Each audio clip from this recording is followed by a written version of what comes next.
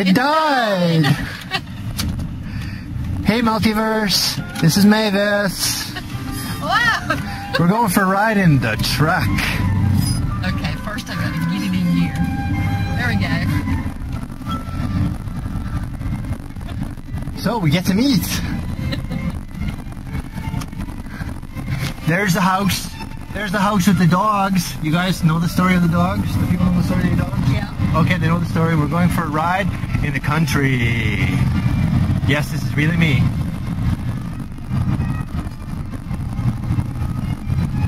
Is that a goat? There's a, that's a goat farm. Oh, goats. Oh, I'm hungry. Hello everybody! It's Mavis. This is my house where I grew up.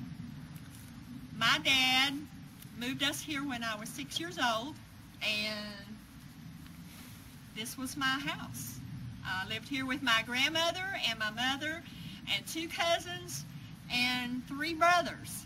And sometimes we would move away, but we'd always come back because this is home. It's in a bit of disrepair.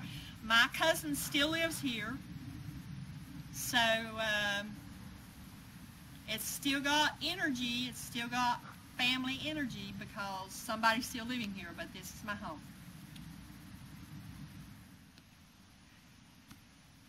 Now this house right here, we call this our canning shed, and my grandmother kept all her uh, cans that she canned her vegetables in the summertime in here.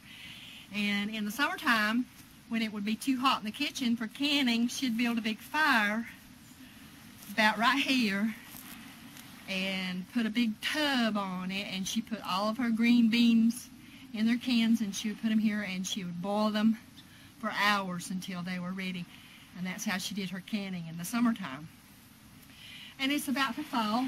And a story about it is my little brother one time stuck his head right under here, under this crawl space. And he got stuck because we kidded him because we always told him he had a big head. And he got his head stuck under the uh, canning shed. and our neighbors had to come down and lift it off his head because it was only sitting on rocks. They had rocks where they sat it down so it wasn't attached so they could pick it up on one end and picked it up off his head. But he was there for a while till they got it up off of him.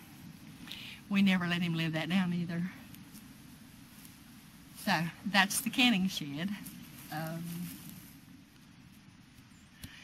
okay, there was a huge pine tree growing right here. And last year, there was a big storm and it blew the tree over and part of the branches hit the house and you can see where it tore the side of the house. It went into the bedroom upstairs and tore down part of the chimney. But so far, uh, and I said my cousin lives here, and so far all she's been able to do is just get that waterproof so that the rain doesn't blow into the inside of the bedroom up there. But that's all she's done. She's not using the upstairs part of the house anymore. She's mainly downstairs.